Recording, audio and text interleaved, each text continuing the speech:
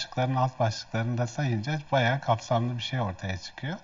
Ee, ama boynunun tarafında bulunan 15-25 gra- gram ağırlığında Adem elmasının hemen altında bulunan vücudumuzda çok sayıda hayati fonksiyonu e, idame ettiren önemli bezlerden biri tiroid bezi.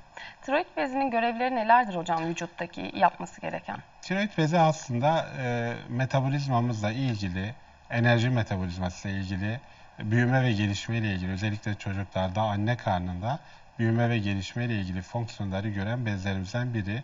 Yine boy uzamasında ergenlik döneminde özellikle önemli.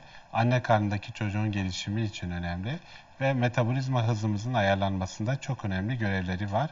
Dolayısıyla tiroid beziyle ilgili hastalıklarda e, metabolizmanın yavaşlaması veya artması durumuyla ilişkili olarak e, kilo ile ilgili problemler görebilmekteyiz. E, tiroid bezi tabii tüm vücudu etkileyen fonksiyonlara sahip. E, saçlarımızı etkileyip saçların beslenmesi için yine tiroid hormonları gerekiyor. Saç dökülmesi yapabilmekte.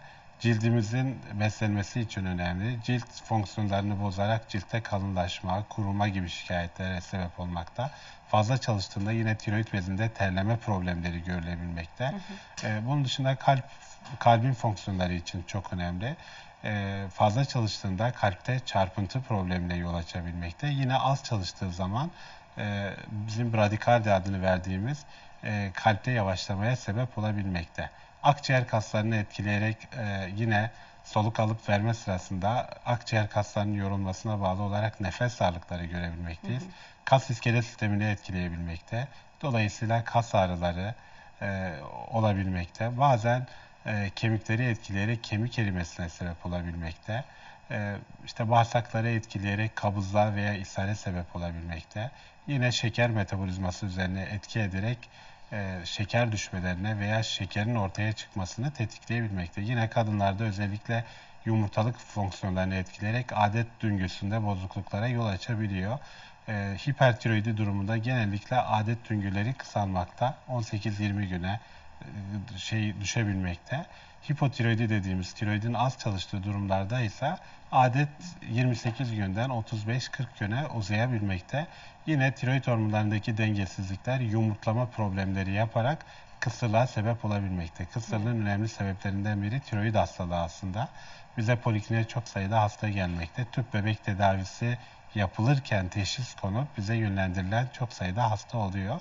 Yine e, tabii kasların hareketi için e, tiroid bezinin önemli fonksiyonları mevcut.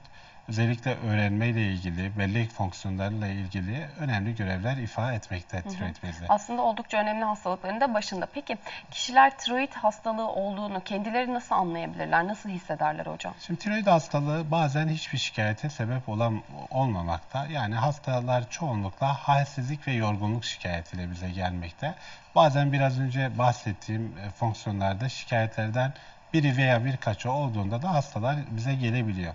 Ama belli başlı problemler halsizlik, yorgunluk, boyunda şişlik, bazen yumru hissi, boyunda ani başlayan ağrılar, bazen ses kısıklıkları, ses tınısında değişiklikler, seste kalınlaşmalar olabiliyor. Bazen tiz seslere sebep olabilmekte. Bazen e, kilo almayla hastalar e, kilo aldım diyerek gelebilmekte. Bazen kilo verme problemiyle gelmekte. Yani metabolizmayı ayarladığı için az çalıştığında kilo almaya meyil oluşturmakta. Fazla çalıştığında bu sefer çok fazla sayıda kilonun vermesine sebep olarak 15-20 kilo verip gelen hastalar var. Bazen de 20 kilo alıp gelen hastalarımız oluyor. Tiroid hastalığı ilk ortaya çıktığında. Biraz önce bahsettim işte kısırlık tedavisi görürken gelen hastalarımız var. Bazen de sadece bağırsak problemi oluyor. E, işte tetkik edilirken tiroid bezinde bozukluk tespit edilmekte. Bazen vücut ağrıları, kas ağrıları yapar. İşte fizik tedavi uzmanları tetkik yaparken tiroid hormonunda bozukluk görerek bize yöneltebilmekte.